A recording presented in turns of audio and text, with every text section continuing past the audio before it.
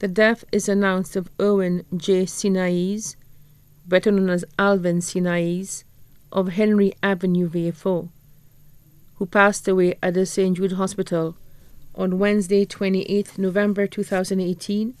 He was 53 years old. The funeral arrangements of the late Irwin J. Sinaise, better known as Alvin Sinaise, will be announced in a subsequent broadcast.